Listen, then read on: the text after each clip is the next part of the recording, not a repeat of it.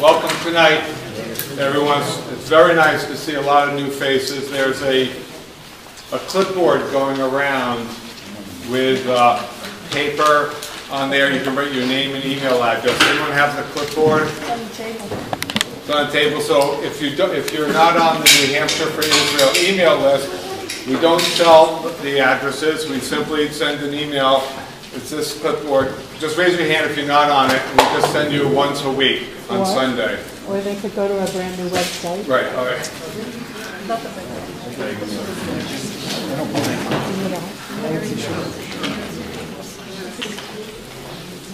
Okay. So, um, it is very nice to, to have everyone here, but I wanted to start, if we could, a little differently tonight, uh, due to the, the atrocity that happened yesterday in Jerusalem. Uh, Because, um, in these, I'm sure everyone here knows, but believe it or not, most people in New Hampshire don't know anything about it, which is uh, indicative of the United States. Unfortunately, people don't follow the news. But, but in uh, Kehillat Ben, ben uh, B'nai Torah Synagogue, which is in the, uh, the Har Nof neighborhood of Jerusalem, there were the men, it was an Orthodox synagogue, it is an Orthodox synagogue that reopened today, and, and it's in an area of Jerusalem that is an Anglo-Saxon area. It's uh, made up of Australians and Canadians, Americans, Brits, and some French. So it's a lot of English speakers there. And people who, um, a lot of them, what we call made aliyah, which means they decided to move to Israel.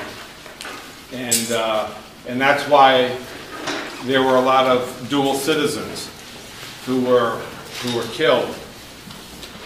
So the, uh, the two savages who, who perpetrated this were released just a year ago. They were in the prison, uh, but they were released due to the Israeli-Palestinian peace talks. So that's very disappointing, to say the least, that they were once behind bars and, and then they were able to do this and, and leave behind 24 children who now do not have fathers. Um, so the four, four worshipers were killed in addition to a policeman who is Druze, which is, a, which is actually a religion. It may not be known well in the United States, but it is known well in Israel, and they're very nationalistic, very patriotic towards Israel. They're not Jewish. And the, uh, and the Druze policeman killed at least one of the terrorists while he got shot in the head and then later passed away. Um, and the uh, and seven seven of the men who um, they did survive, but they were uh, some of them critically, some of them uh, seriously uh, wounded. The, uh, the the ones who were killed, I wrote it down. I think their names should be should be verbalized. And uh, Rabbi Moshe Twersky, 59 years old. Kalman Levine, 55 years old. Rabbi Aryeh Kupinski, 43 years old. Rabbi Abraham Shmuel Goldberg, 68 years old. And last and not certainly least is the policeman who saved many others from tragedy. Zidan Saif, 30 years old, who left behind a, a baby of less than a year.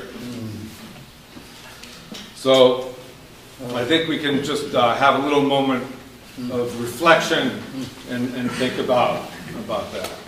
Thank you.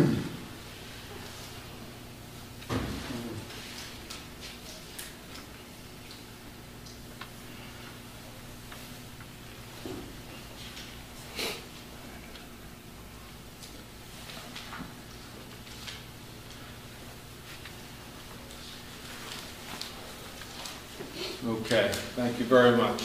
Appreciate that. May their uh, memories be a blessing.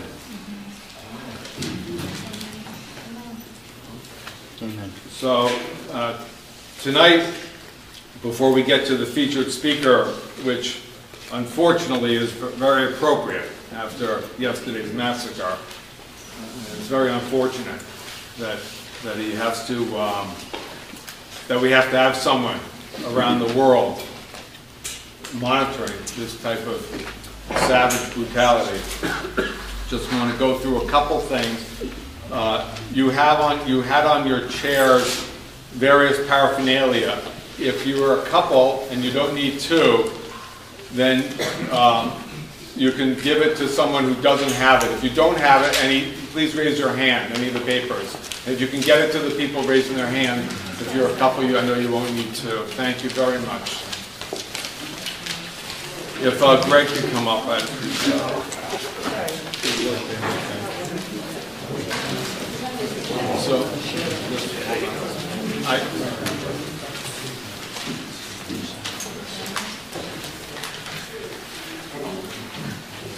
So, I should have, my name is Brian, Brian Grodman, by the way, and I'm just representative of New Hampshire for Israel.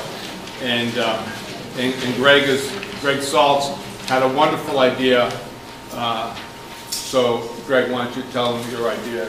Well, actually, I was going to ask Brian to do a moment of silence for the four victims that were murdered in Jerusalem, and I didn't ask him to, and I'm, and I'm glad that he did that. And uh, I wasn't aware that these two guys were released from prison, because I remember that release, and it was actually on my birthday, and it was the worst birthday present I ever got, it just got worse with this tragic event in uh, Jerusalem.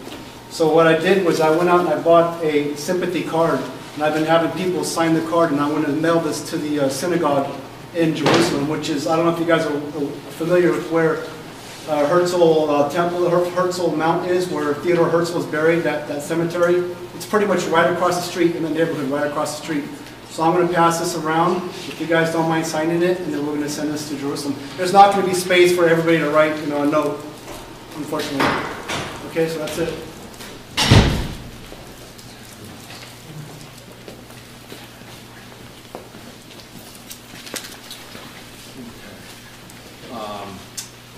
And before we get to, uh, where's Mike, Michael? Okay, Michael's going to say a couple words here about something yesterday that he was able to attend. Forty-five minutes back. Yesterday, uh, Brian and I went down to uh, Washington DC for a meeting of uh, JINSA. Uh, It's a uh, small organization, small organization that uh, deals with issues of uh, national security, and uh, particularly focused towards louder. Yes. Okay, yesterday Brian and I went down to uh, Washington DC for a meeting of JINSA. It's a small organization that I really wasn't even aware of um, until a couple of weeks ago when Brian started talking to me about it. Uh, Stands, it's JINSA, uh, Jewish Institute for National Security Affairs. Uh, As the name suggests, uh, deals with issues of U.S. national security uh, with with a focus on uh, on Israel and uh, uh, Jewish issues as well. Uh, I I suppose there's some overlap with what AIPAC does, but this is a much smaller organization, and they only deal, only address a a few topics at a time. The idea is that a small force in a small area can generate a lot of pressure, it can be very effective on on the particular topics you're interested in. It was a great meeting, uh, the there were about 60 people there. Um, It was uh, retired senior military leaders, generals, admirals, uh, leaders of industry, uh, and uh, topics covered were uh, some of the current issues. The real focus was the the concern about what's going on in Iran with the nuclear program. That seems to be the uh, primary concern, primary threat to Israel right now, and the big concern is that it's not being addressed appropriately uh, or or taken seriously enough by this country. So if you're interested in knowing more about it, uh, it- their website is jinsa.org. Uh, Get an idea of who they are and and what they've been doing